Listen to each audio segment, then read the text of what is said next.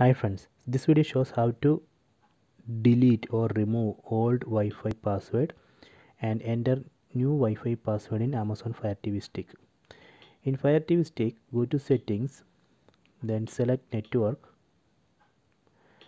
then select the Wi-Fi network for which you want to remove the old password and enter new password.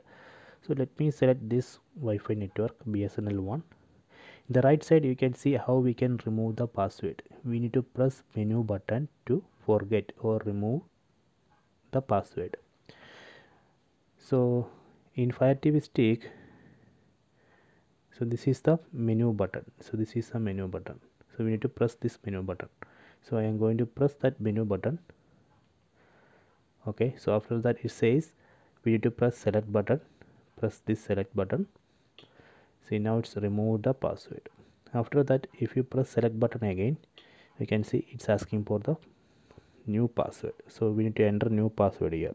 So let me enter new password. Okay i have entered new password. After that select connect. Press on select button. See now it's connecting to the wi-fi network using new password. Please wait. Okay it's connected. So this way we can remove old Wi-Fi password and enter new password. So I hope you enjoy this video. Please subscribe my channel. Please like and share the video